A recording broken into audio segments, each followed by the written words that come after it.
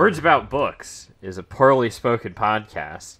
And this week we are once again talking about Promise of Blood by Brian Sanderson. Oh, so close. All right, hold on. Hold on. McClellan? Uh, okay. Sanderson's the. oh, uh, you other legitimately thought it was Sanderson. Sanderson was uh, Brandon Sanderson. That was the other guy. Okay. Well, I I merged the two in my head. So Somewhere out there, a, a thousand fantasy book podcasts cried out in pain and then were silenced. good.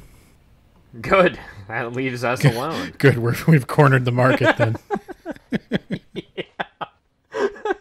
So yeah, uh, just a brief recap of what we talked about last time. The the manliest man who ever manned a man started a rebellion, murdered the king, put down a counter rebellion, killed the most general general of all generals in the world, and then also started a war in the span of about 70 minutes of us talking about it. uh, he is not a very good statesman. Also, there's a detective and his cokehead son. How's it going, buddy? I'm I'm Nate, by the way. Well, the okay, just want to clarify the cokehead is the son of the man man, not the detective. yes, I could see how the way I said that made it sound like the detective's cokehead son. It's the it's the uh, manly man field marshal's cokehead son. You think they call it powderheads? Like, ah, look at that guy. He's a real powderhead, just snorting that powder. I do not. Th- they called it going powder blind, Yeah, but there's got to be like a like a noun, that. like someone who is powder blind is a blank Yeah, a powder. powderhead.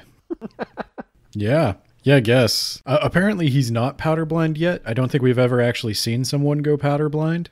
I think we'll get into that in this part. I do get a real kick out of Daniel commenting on how drunk the one guy is and just just not seeing it. Just a whole lot of not seeing it. I hate Taniel. That's another recap. Taniel's awful. Yeah, Daniel's yeah. a terrible person, and this is another case where I don't know. I don't know if the author would agree with me. Well, let's let's again just real quick, just to throw it out there. It, it's we're not going to get to it until part three, I don't think. Uh, Ka-poel is but 14 he, until yes. she's not. yes, she's fourteen. She may or may not be a boy. She's she's got like no secondary sexual characteristics, Yes. and they have a father daughter relationship. Keep that in mind, until the very second they don't. And she's magically 19. And also, Daniel uh, shaves a few years off as well. You're you're really jumping the gun here, but yes. I'm just inserting it as clumsily as the author did. It's okay, because Oh, Ka-poel is actually a, a 7,000 year old dragon. That's the anime Yeah. excuse, isn't it? Oh, God. We should probably start. Yeah, let me let me briefly mention we we never mention Adamat's uh, story because it doesn't really matter. He has a run in with a guy named Lord Vitas or whatever who takes over his loan sharking. Vitas he- is like. Is that I- his name? It's, Vetas? I would say Vetas or something like that. I don't think it's Vitas. Alright. Hitting those vowels extra hard. Yeah, he's he's like, hmm, uh, don't worry. Uh, or he he wants uh he wants information on his investigation, and when Adamat's like, no, the Lord is like, well, I'll just come back when I have some leverage. I, it's obvious where this is going. I don't know why he didn't immediately think of that. He's not much of a detective. He's no uh okay. so I gotta I gotta confess something here. So my my mom finally suckered me into watching Hercule Poirot, the the David Suchet ones. I believe it's Poirot. It's not. He's no uh, Hercule Poirot, is what I was gonna say. He's more of a Hastings. He's a Hastings without a Poirot. It's more more of a JJ or a Valentine. You know. Getting a little ahead of yourself here. Hey, I was just following your lead. I didn't go all the way ahead into another book. You should have. It's a great book. It's short, I'll give you that. Yeah, I finished that in two days in between actual working. I wanted to also mention uh, Thomas's counsel. This is Thomas's all-star team of what is described as a bunch of bickering children who all hate each other. I was gonna say he didn't choose them because he he wanted them. He chose them because they were uniquely positioned to stop him. So he had to court them and get them all on his side. Yeah, I also I wrote down here that most of the people are just like uh tropes almost. Like uh Lord Vetas or whatever, he's like the mystery man, a cool mystery guy working for a mystery lord. It does lean pretty heavy on tropes. I don't know that I I don't know that I count that against the book.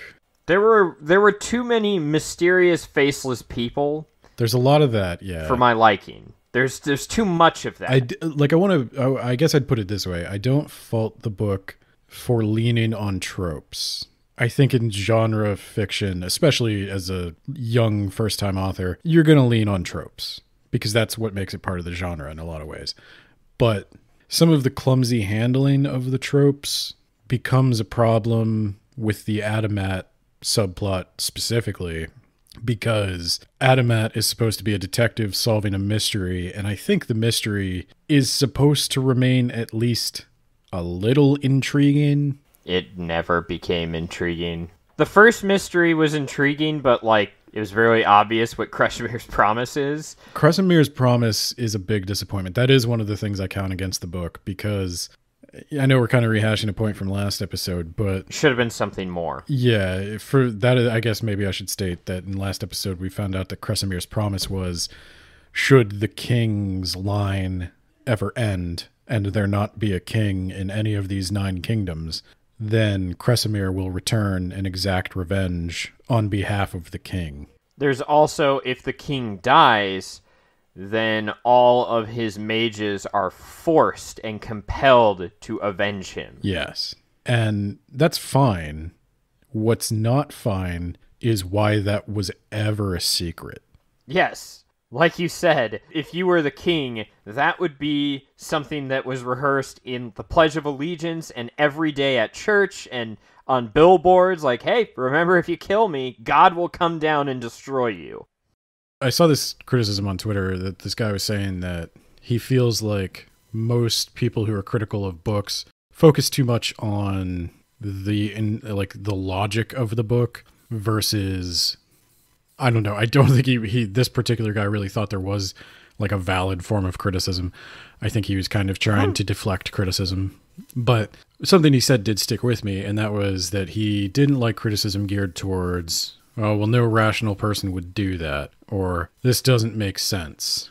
And I think there's there's a certain amount of that we do for fun on the podcast where we talk about um, why why is Olem so so darn dedicated to Thomas when he's never met Thomas before and Right. he doesn't And he falls in love with Thomas, yeah. basically, and he would die for Thomas. I think that's funny, but I wanted to point out that like that that is not book breaking for me. I, I don't care uh, so much about that. I I don't care that Olem Right. acts that way. That he warmed up to Thomas really quickly. I can I can buy that. That's just a quirk of Olem's character. The reason Kresimir's promise not being shouted from the rooftops bothers me is because it's internally inconsistent. Like we we went out of our way to make sure that that, that was not just a forgotten piece of lore. It would have been one thing if it had faded into memory or if people had known about this legend but they no longer believed in it. But instead, it was a mystery. Somebody was actively seeking to hide what Kresimir's promise was, and we needed a detective to figure it out. And the detective didn't figure it out by detecting it, by putting clues together and synthesizing and analyzing information. He did it by just asking a guy who knew, who was also known to the major players in the book. Like they could have easily just written him a letter and asked him, but they didn't. And all the mages of the cabal knew, and they didn't tell anyone. That's actually a good point. Thomas could have been like, hey, we need your help to figure out what Kresimir's promise is. Here's a mage in the Cabal who survived. Go talk to him. Yeah, or the mages of the cabal could have easily just been like, "Hey, Thomas, don't do this because if you do, Kresimir is going to come back and kill you. It's heavily implied that the general knew what Kresimir's promise was, and the general could have easily said, "Hey, Thomas, can't help you with this, man, because if we do this, Kresimir is going to come kill us." Yeah, during the negotiations, they should have been. They could have been like, "Hey, let's put the boy on the throne. He'll be a puppet king, and that way Kresimir won't come and kill us." Yeah. The fact that this is so central to the plot, and there are so many logical inconsistencies internal to the world. I don't care that there are powder mages. I think the powder mage is a silly concept myself. I think the notion of somebody snorting gunpowder is kind of silly myself. I can go along with it. it the the book sets the rules. My problem with Kresimir's promise is it's not consistent with the rules the book set for itself. In this book, people tend to behave in a way that benefits them. They use our earth logic for the most part, except in this one situation where we just needed to have a mystery. That's why Kresimir's promise bothers me. I don't know if I made that clear enough in the first episode. I don't know if I separated the criticisms I have because we did a lot of like joking about Kresimir's promise and then switching around and joking about how manly Thomas was and then switching around and joking about how coked out uh, Taniel was. Kresimir's promise is the big problem for me. And I know you you did a good job of describing why the historical like tactical decisions started to add up for you. And I think that's along the same line of the book wants to be a kind of military thriller and the military decisions aren't consistent with what we know about militaries. Right. Personally, I view that as a more minor problem, but I do see how it adds up. Well, here's here's another one that that that might hit you. Uh, you know how businesses love unions and like it makes businesses more efficient and they just like when you hear about a, a business that's being threatened with unionization they're like hell yeah bring it on give me the unions and like not threatening to just lay off all the workers I have hesitated. I've mentioned in a couple of reviews that I think I even mentioned in the description of the podcast we just put out. That's one of the most unbelie- that's one of the most fantastical elements of this world is that the capitalists just love how productive the unions are. And I- I'm careful about that because I think unions do good work. At the same time, I've known a lot of manager types, white collar types, who worked in union environments and have very different opinions about the productivity of the union. well regardless the the fact that the businesses are welcoming the unions it's like no they're not I got the vibe. the businesses will come in and say if you try to unionize you're all out of jobs Well, I kind of got the vibe that Brian McClellan was maybe trying to make a statement about his own socioeconomic beliefs. I think maybe Brian McClellan thinks there's an argument to be made that unions make things more productive and therefore a smart business owner would welcome a union. I think maybe that was just him bleeding a little of his own idealism into the book. I'm willing to forgive it, uh, but that's one of the things I joke about. The main reason I bring it up in my review is because I wanted to talk about a commitment to historical accuracy because I, I foresee that as a defense for the Taniel Ka-poel relationship is that back in the long, long ago, it wasn't unusual for a young girl to marry an older man. And in this case, we're talking like old enough to be your father kind of thing. yeah That's true. And, you know, rules of society change. But one of the reasons I wanted to talk about the union thing was because if we're committed to historical accuracy and things like romantic relationships, it would be weird then to insert your own personal socioeconomic philosophy from the 21st century into that world and not bring in any of your own uh, 21st century notions of permissible relationships. But I digress. I just wanted to get that on the record because I, I feel like that's a correction from the first episode. I joke about certain things and I am not joking about others, and I did not make that clear enough. So I hope I've made that clear enough. Let's talk about some of what happens in what I am calling part two. So now that now that we've introduced the council, I know you've probably forgotten who they are. That's fine. I forgot who they are too, and I had to reread them uh, a few times before I caught on. But they had a secret meeting place that only they knew about inside the Tower of Nobles, and Thomas is down there planning out his war when a warden from Kez just shows up. I, I, okay, so wardens are like gigantic people, like they're humongous monstrosities, and I guess I shouldn't complain about like how did you conceal this guy? Fine, fine, fine. But my thing about the wardens is they suck. like they're Worf from Star Trek, where it's like we're trying to imply that they're good, but they just constantly get the shit kicked out of them. The wardens are constantly being just mowed down like common soldiers. And Thomas, with the help of his dog and a cigar that has some gunpowder in it, defeats the warden pretty pretty easily. I might I, I do think the wardens are a little bit like the mage breaker in that we're told they're really good at do like you said we're told they're really good at doing a thing and then they're they're not so good at doing a thing. Um right. but I, I do think the the warden does a good job of kicking the shit out of thomas. It would have been better writing to uh, show the wardens really doing some damage before we showed them being defeated because i think the wardens are supposed to demonstrate that thomas and Taniel, who keep taking wardens out right and left are exceptional fighters instead it just makes the wardens seem really easy to kill like Worf. yeah. your your analogy is perfect. Yeah, I was also gonna say, or like Clarence Townsend from our writing, where it's like, Yeah. yeah, he's he's completely useless. He always gets the crap kicked out. He always him. gets a car thrown at him. He always gets run over by a car. But he's very threatening. He'll, he'll kick your ass as long as there's not a car nearby. Well, you're absolutely right, and I think that's another great thing to bring up is the the writing I think that bothers you the most is the writing that reminds you of yourself. Yes. And that is very much an Edenverse trope that, that we we recognized in our own writing pretty early on, and it just turned into a joke.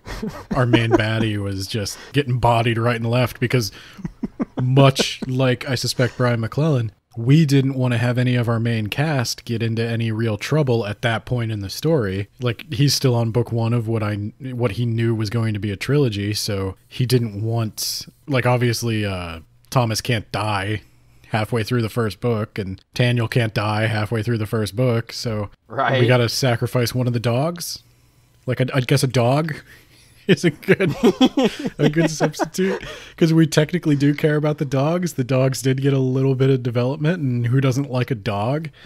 And so when this warden, you know, breaks a dog's back, we're like, oh, I don't like him.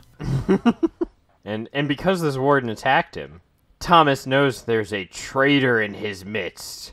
But he seems to believe only one, I- which you brought up, and I went, you know what? That is true. Why did he assume there was only one traitor? I assumed, and this is me being a little maybe overestimating what the book was going for here. I was still hung up on the scene at the pier where Thomas just took it upon himself to start a war because he was personally insulted. And I figured, oh, the council decided to get rid of him. And then when Thomas was Right. like, "There is one of you is a traitor," I was like, "Oh, we're not doing that. That's uh, it's just one of them." He knew that for some reason. And I'll point out now that this is like I can okay, I can I can understand this. This is another one of the like I I can buy that these people have this relationship with him. I just think it would have been more interesting if there were more consequences for Thomas's political decisions. But no, there is exactly one traitor, and that's how we get Adamat back into this book. Yeah, uh, I'm not going to really mention Adamat again for a while, but basically, Thomas says, Hey, detective, I need you to figure out who the traitor is. And Adamat spends most of the rest of the book interviewing every single member of the council. It serves as a double get Adamat back in the book, because I'm guessing Adamat is also going to do something important later. and try and characterize these guys. Yeah, and get some character development for this council, because I'm guessing these guys are also going to be important later on. Yeah, that's his entire plot line for a while. Uh, Lord v- Vetas, Vetas, Velveeta, he'll eventually give Adamat his son's uh, ring finger, and Adamat will spill the beans and betray Thomas to Lord Vetas, Vetas, Venus, and we'll, we'll we'll catch back with Adamat later. But he's just wandering around talking with people, basically. Oh, and then there's a after this chapter, there's a funny slapstick chapter with Olem and Thomas where they learn that Mihali the cook can summon food. I do I I do want to briefly elaborate on that, and and that is that like Mihali we didn't mention him much in the first episode. He just sort of gets that cameo in the in the tent. But Mihali is is the greatest chef in the world, the reincarnation of the great god Adam, and he is a delight. I really liked every scene with Mihali. I, I think the comedy of Mihali works, that he's this quirky dude who just does magic via cooking. Like he always cooks yeah, up just the right thing. A lot of good character. He can cook up a thing that heals you. He can cook up a thing. I liked it because it was this is the kind of magic I like actually. I don't fully understand what he's doing and it's kind of subtle and I like it it is mentioned that it breaks all the rules. They don't believe that he is uh, God reincarnated. They believe that he's just some exceptionally talented knacked whose knack is he can create organic matter and cook it. no big deal. He puts a loaf of bread in the oven and he gets 20 loaves of bread out of it. No big deal. But I do like that kind of sleight of hand magic as uh, yeah, as you're talking about it, maybe that was part of my problem. I can get behind a hard magic system, but it can't run in parallel with a non-hard magic system. Like you can't have a hard magic system and then have Harry Potter magic. Well, I don't want to judge him too harsh on that because part of, one of the things I am I interested in is how the gods relate to the privileged and and the rest of the uh, um, uh, yeah I, i'm hierarchy. sure this could be explained in future books. You're right. I do get the vibe he is going to do something with it. Uh, and so i do like it. But w- the other thing i like about mihali is that he seems to be the patron saint of Adopest the town we're in and or the kingdom we're in and he doesn't want to see them destroyed by Kresimir, and so he's exerting his subtle influences to steer them in the right direction. I like it. He's kind of a Gandalf figure almost, like he's he's directing the party towards the correct solution, but he's not telling them what to do. He's just feeding the troops and making sure that morale stays up and keep keeping the army together, keeping the defenses going, and I like that. I like everything about that if this book had a little bit more Mihali, I'd like it more, I guess. I, I was going to say something harsher, but I do think I would read another book in this series. I, I don't hate it. Well, I'm sure you'd want more Mihali and less of Taniel, which is where I wanted to go next. Yes. so Taniel is ordered by his dad to go kill Bo, Taniel's friend, because Bo is a privileged and he's going to have to avenge uh, the king's death and eventually try and kill Thomas. So Taniel goes with Poe and Julene, where Julene uh, straight up tells him, uh, I don't trust you, which is some Iglard Tiger's Blood level shit. No, I'm not going to explain that reference. Uh, so Taniel's like, I'm going to do it myself. So he follows. Sorry, you're going to say something? What do you feel about the, the characterization of Thomas? Because I think we've got an interesting dichotomy here between so we're obviously supposed to like him. Yeah, he keeps saying things like, I want to give the money back to the people. I want to feed the people. And I honestly thought the book, that a lot of it was going to be like trying to get everything he wants and finding out that it's just not plausible and having to make a bunch of compromises and ultimately where he started is not where he ended up. Because a lot of times in history people are like i want to give back to the people and then they're just a horrible douchebag dictator and things are worse.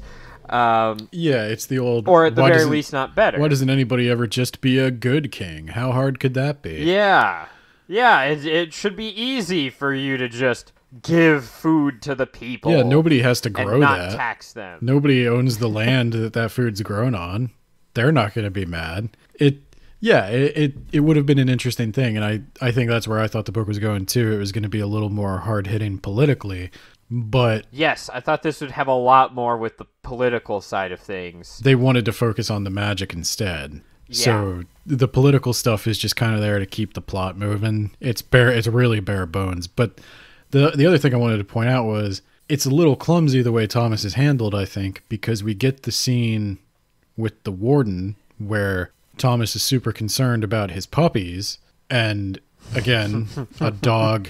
This is this is like a horror movie thing for me. This is this is a trope from all my horror stuff. Easiest way to get sympathy for something is to put a dog in it if somebody likes dogs well they can't are they really pure evil? They still like dogs.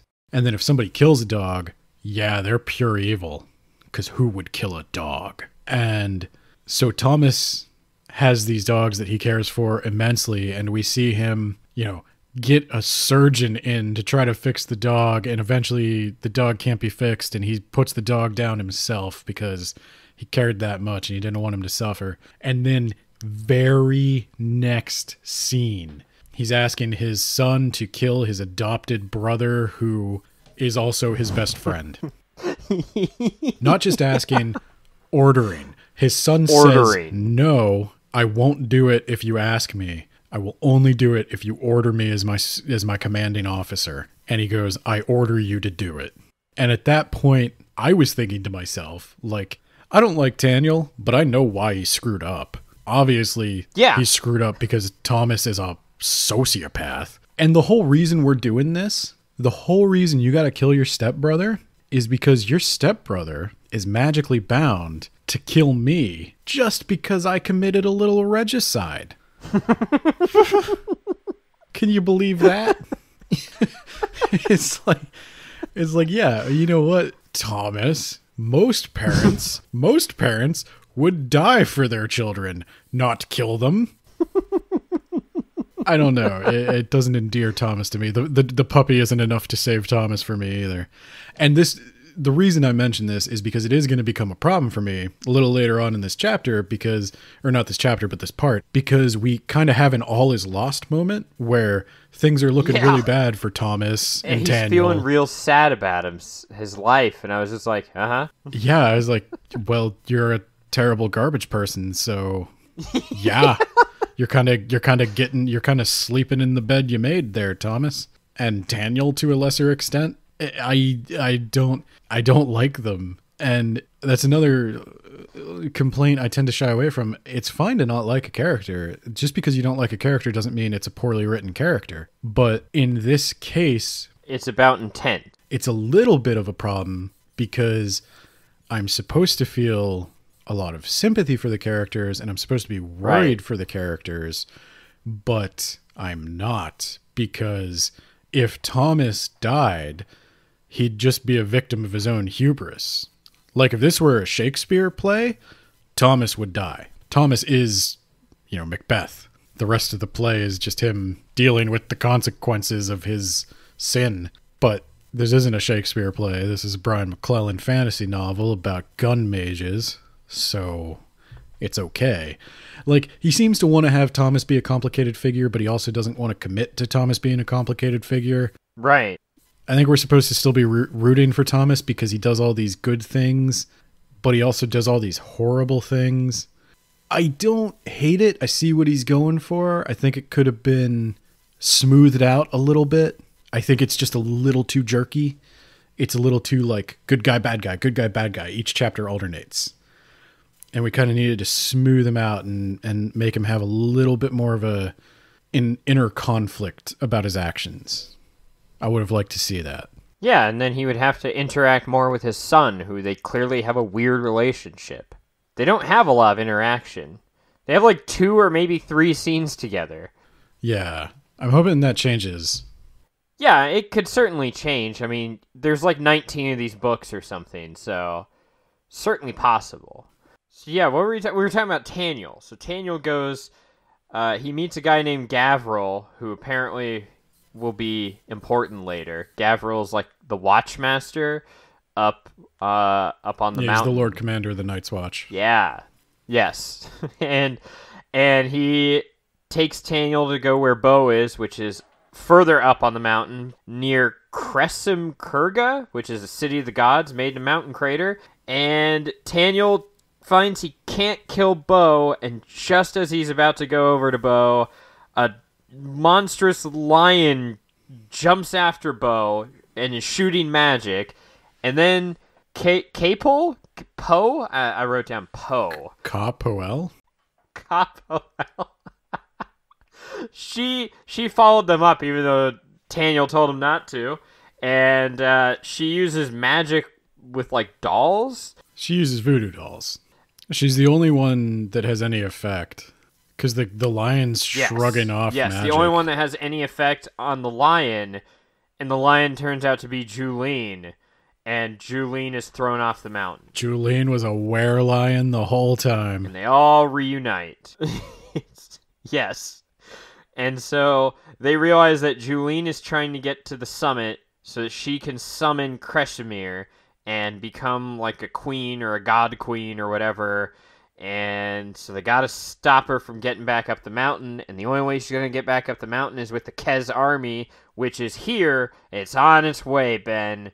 In defense of the book, it didn't occur to me until I just heard you retell it. But she needs the Kez army to get back up because at this point she's been found out. Uh, Taniel knows she's a traitor, and she knows Ka-poel is enough to challenge her, so she goes back to, to come back with an army.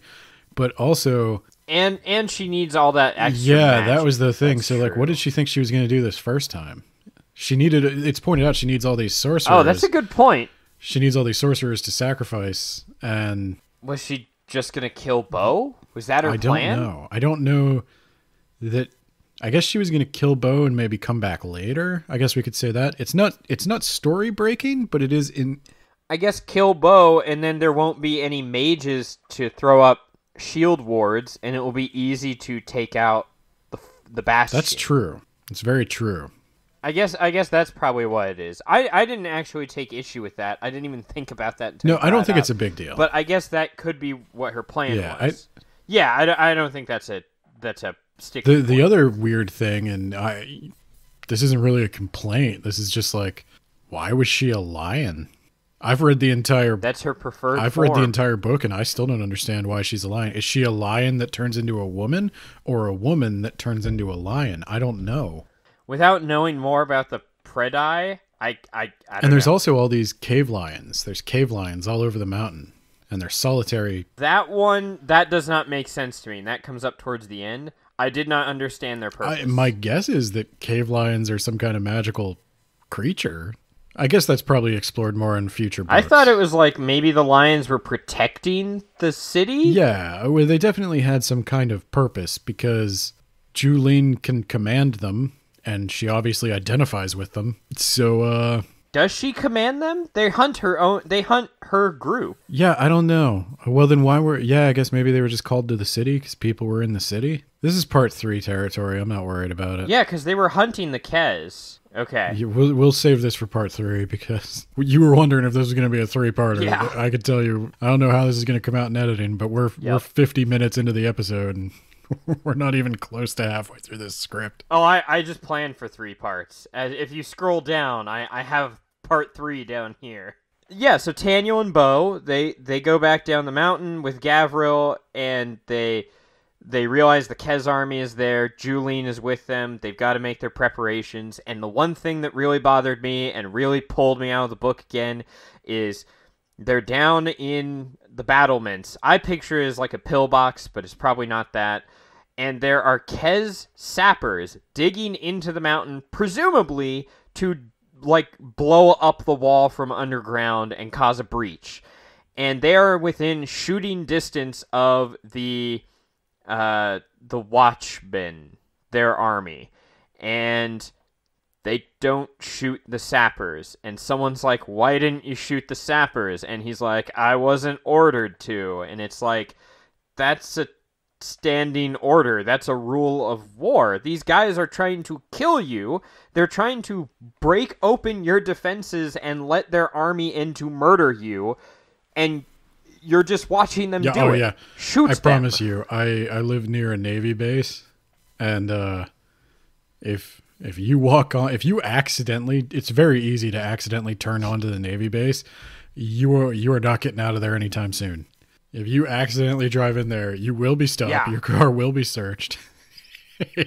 and they do not need to ask uh, anyone for permission. They just know to do that. That's actually why they they Yeah. have watchmen you know?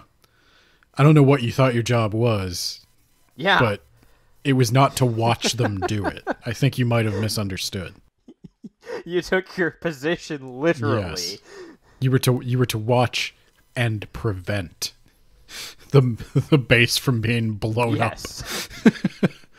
Like I could see somebody not shooting if it was like one guy coming up to parlay or something. But yeah, if you're actually if you're actively watching The army. army dig into the side of the mountain with explosives, you could probably assume that your supervisor would want you to take the shot. But the whole reason they didn't was because Brian McClellan had a cool idea for a scene where the guy's like, I don't know what to do in this situation. And the guy takes the gun from him, blows the sapper uh, away, and, and goes, That's what you do, son. Take your rifle.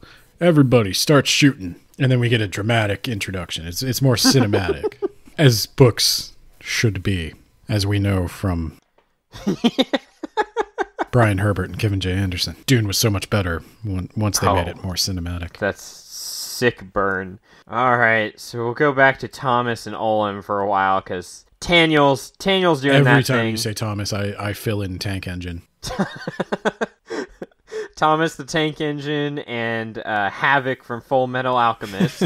They're busy hiring some assassins to grab a suspected Kez spy and torture information out Momo's of going to have a, a much easier time animating this one.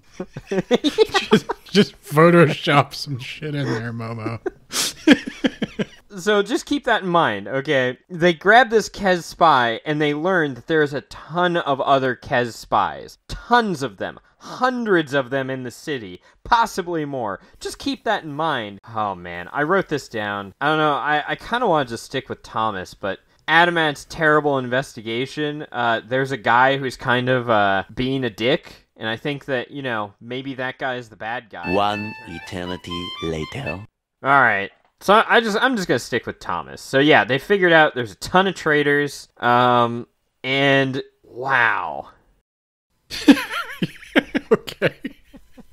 I'm, I'm looking like God. This is scattered all There's a lot of traders and just. Okay. Oh, wow. Wow, man. There's a lot. I don't know. Turns out being king's a lot harder than I thought. man. Privileged are, are really magnetic to the opposite sex and they're extra Oh, horny, God. so they need a harem. Put a pin in that. I'm trying to and and the and the fact that Kez just lost a war to a colony, but now they're starting a war with a more industrialized nation. Uh, but I, I guess that can make sense because maybe they didn't think they'd win the war; they just wanted to summon the god. Yeah, I think that was their whole plan. Okay, I'm scrolling all the way down here. I- so we already talked about how Thomas's wife was a spy and deserved what she got, right? I don't want to say So- she deserved what she got, but at the very least, I think it just falls under she was a casualty of war, of which there have been many, and I'm sure Thomas is responsible for more than a few dead dead men and women who didn't deserve to die, and he's certainly about to be responsible Right. for many, many, many more, and that never bothered him. Right. So it's very hypocritical that he can start a war over his wife who was killed as a result of this conflict, this ongoing conflict. So I, I don't know. I, I I find that tacky. Not unbelievable, but tacky. Yeah, he probably had a lot of husbands and wives and sons and daughters get killed for his stupid wife. Stupid wife.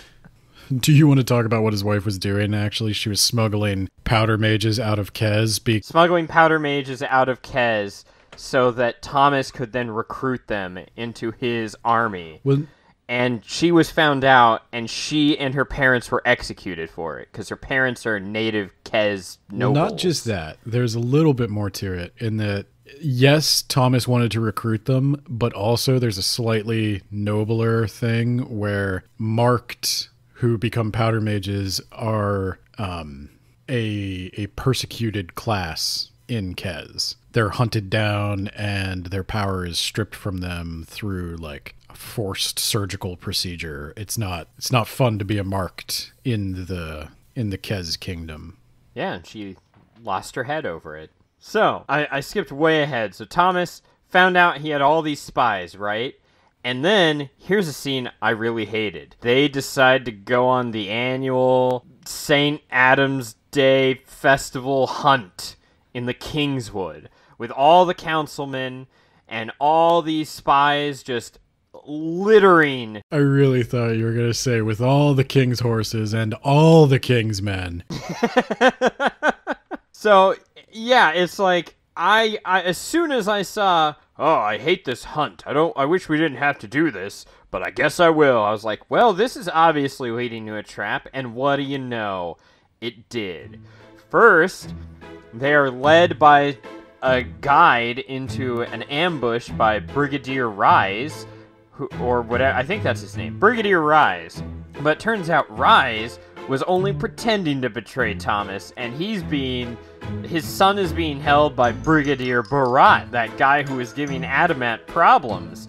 And they're, the guide also betrayed. There's a lot of betrayals, okay? A bunch of people betray each other, and eventually uh, Thomas gets captured by that guy he threw into the river who also uh, executed Thomas's wife. You're a ma- master Is that, summary. is that is that adequate? yeah, that's fine. Tho- Thomas is double crossed. put some music under that. Thomas is know? double crossed. He gets He's double triple crossed. He's double crossed. His double crosser's double crossed. There's, there's there's several crosses Yes. here. And then you didn't realize at first this is the lowest point where Thomas is captured by the man who executed his wife and his leg is repaired following the attack and they put some gold in there so he can no longer use his powder mage powers. Uh, the Kez are about to storm the fort on the mountain and overrun Taniel and kill everyone up there. And Adamat was delivered that finger by Lord Vetas, and he's morally compromised into revealing all the secrets of his investigation. Yeah, it, it took me a minute to be like, so like it was. It wasn't until the next chapter after Thomas got his powers taken away that I was like, oh, a lot of bad stuff's happening to people I'm not supposed to hate. this,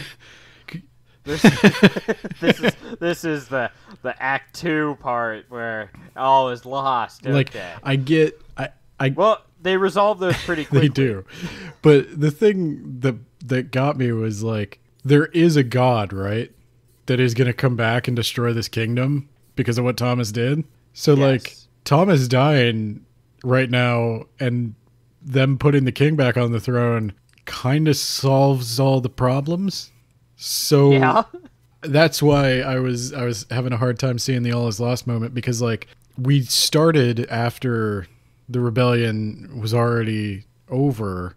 We didn't get to see how terrible of a king Manhouch was, and we already know that Thomas is mostly doing this out of a personal grudge against the Kez because they killed his wife. So, as somebody on the side of the common man, I personally didn't feel Thomas's cause was just until Mihali told me it was just. Once Mihali told me it was good, and that was that was towards the very he is my moral compass in this book. I like Mihali. I'm not fully committed yet to Thomas's rule. I first off, I don't think he's a very good ruler, and I don't kind of want him to be in charge. I would like to see like a republic or uh, some kind of democratic government instituted. Right now, they're under martial law, and uh, I think that that was his plan. Question. yeah, he's mark? getting there. He's taking his sweet time getting there. Uh he's doing a lot of like, yeah, the council is supposed to vote on all these decisions, but oh, yeah, they're all military decisions, so they're all mine, I guess. So, uh, yeah, I I don't know. I didn't really see I'm not really sure what we're fighting for here.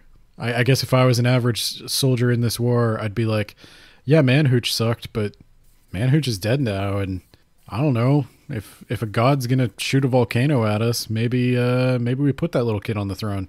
I don't know if I really want to fight God this weekend.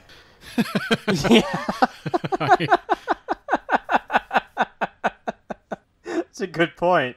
And then when Mihali is like, it doesn't really matter what you do now, he's gonna try to like Kresimir is gonna try to kill you. That then I was like, oh okay, so yeah, they got to finish this. Thomas has to finish what he started. I, I needed that point before this point for me to feel really like worried right now. Right. And because they resolve the lowest point pretty quickly. Uh, Taniel repels the attack, Adamat is Adamant and is unimportant, so who cares? And Thomas is rescued because his dog was bred to be able to find him at any distance, and he is easily rescued after spending a few chapters feeling down on himself. Okay, dude. Here's the thing. Here's the thing. I actually like have a highlight in my book on the point where they're like, "We secretly trained this dog to find you, and we didn't tell you because we needed we wanted it to be a Deus Ex Machina." Here's the problem. It's a writing problem, and it is a problem. The dog finding him was fine because the dog spends every waking moment with him and is super attached to him and we've established that throughout the book. And at the beginning of the hunt, Thomas has entered his dog in the hunt. The hunt is actually a competition for the dogs to catch this fox or something. And his dog is is going to do really well in the hunt because his dog is a master tracker. And when his dog finds him, that came as no surprise to me because the dog is dedicated to him and is a master tracker. In fact, even just the dog being dedicated to him would be enough because there's a thousand Disney movies and shit about dogs finding people across the country. That's a thing dogs can do. It, you know, it, it's wonderful and heartwarming. It didn't need to be a Deus Ex Machina. A Deus Ex, a Deus Ex Machina No. is a lazy technique ninety nine percent of the time. especially when it's supposed to be hard magic where like your options are grounded in the rules of the world you you need to establish shit like this before you My pull the thing trigger was he had done Brian McClellan had done the hard work of establishing this, and then he undid but then he established a he different undid thing his own hard work and undermined it by adding this. And I kind of wondered to myself, like, was there like a beta reader or an editor out there who was like, I don't know, I don't really find the dog finding him to be all that believable. You need to clarify why that was possible. If that was feedback he got, if that initially wasn't in there, I'd be like, dude, tell that beta reader to kiss rocks, man.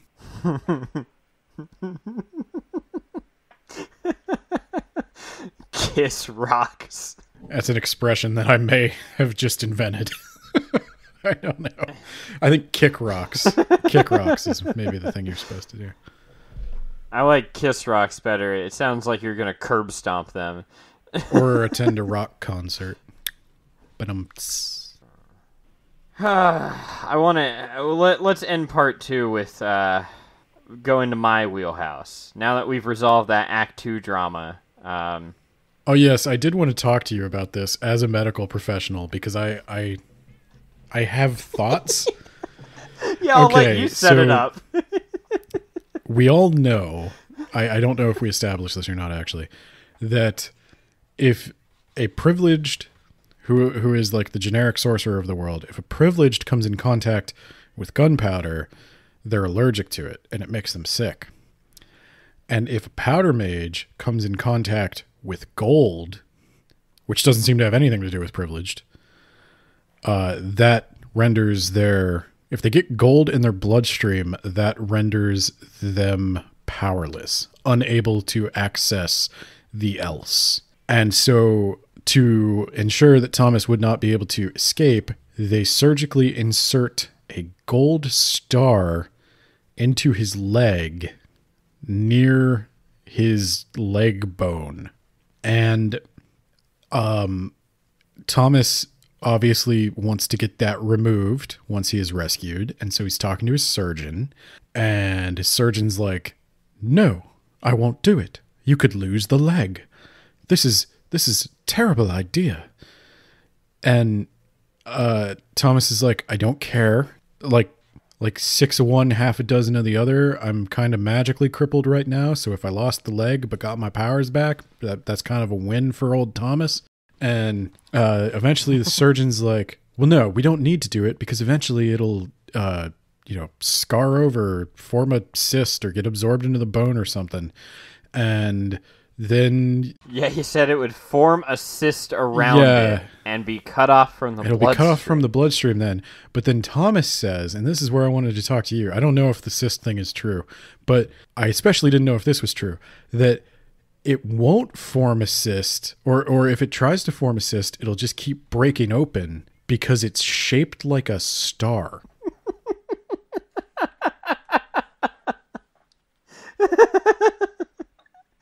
Oh, I just I thought this was so stupid that I went and I told my mom, who is also a medical professional, and she looked at me like I was a big dumb idiot. And I I was like, "Yeah, that's in my book." And she's like, "What?" Yeah, that's that is not at all how the human body and also star-shaped foreign material works. The first thing I want to ask you is if somebody just put some gold how how would somebody have to put gold in your leg to get it to stay? I, you know, I figured that they they just like shoved it in some muscle tissue or in a in bone or something. Well, like his leg was broken, so they could have conceivably like put it in the cracked bone and let it heal back together. So let's say that that's how they did it. They they somehow put it like attached a spur of the star into the bone. So then what would happen? What would grow over that? so it's a foreign body, and your body would probably have potentially have an Im- immune response to it and want to expel it, or it would just be like a gross, nasty granuloma that's like just a pus-filled, gross sack of crap. But it wouldn't constantly break open over and over again because it's shaped like a star. Yeah, I mean, I knew by like I'm not a medical professional, but I am someone who has lived in the world long enough to know what happens when a sticky substance sticks to another substance and eventually it's just going to cover the whole thing like points and all and, and it's not gonna Yes, that's that's the part that got me. Where they're like, eventually it will form a cyst. It's like, I mean, maybe, but like if you just rolled a star-shaped thing in a bunch of mud it's not going to keep breaking open the mud eventually that's just going to dry into like a mud ball with a star inside it it's like how dinosaur Right. fossils because like Right. the dinosaur fossils are pointy how they always keep breaking out of the dirt yeah, that's true. That's Yeah. how we found them all. yeah Yeah, they're like they're just sticking out all over the place yeah, that was the part that got me. I was like, wait a minute, you're saying it's star shaped, so it's never going to heal. here's what thomas had to tell his doctor. I don't care if you have to amputate the leg. Just get me my superpowers back. And you'll do it because i'm the new king. Because that's the role i'm fulfilling right now. Right? you will do it or i'll kill you.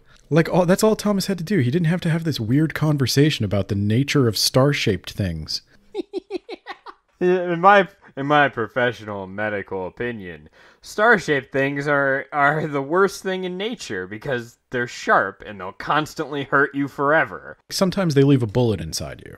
Like sometimes it's just easier, or it's or it's too dangerous to operate. Like if a bullet's too close to your spine or something.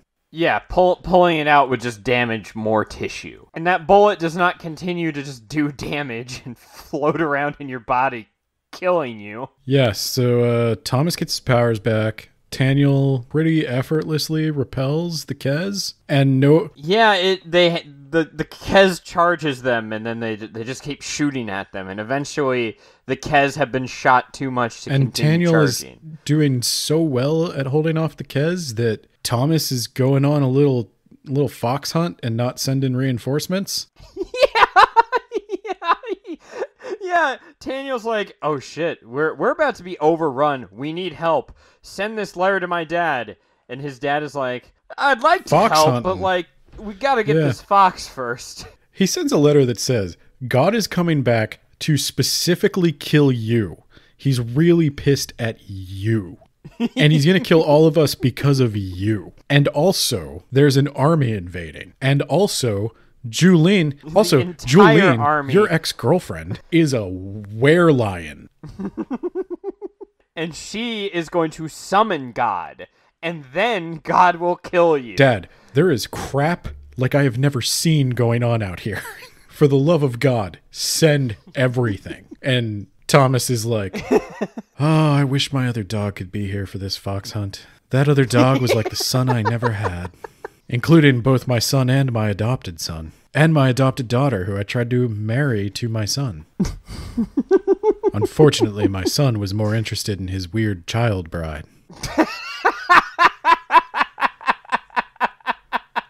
it doesn't happen in this book, but I can't wait till Thomas finds out about that one.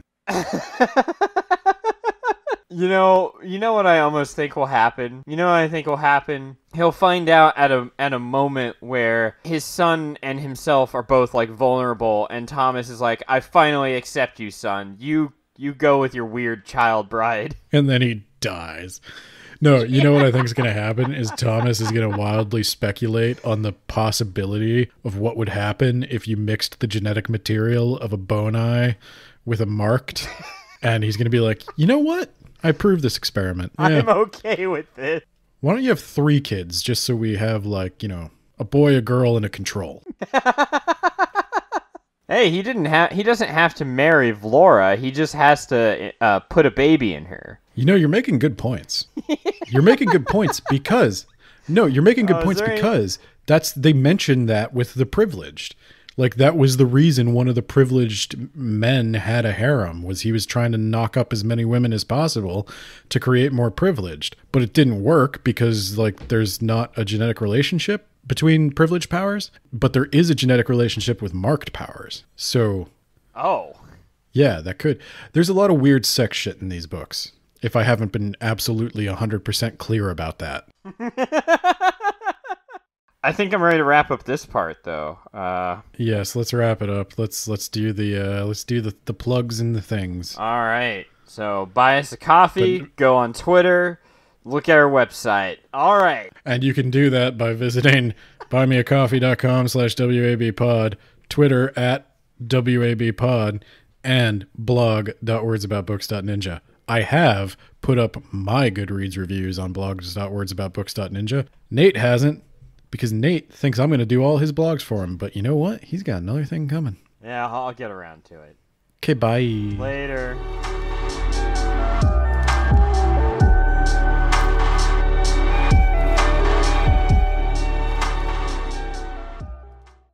Next time on Words About Books. But this is the gold star that is embedded in the book that just won't heal over because it keeps cutting open the wound. Thomas decides not to do that. Tells uh tells the archdiocese to go kiss rocks.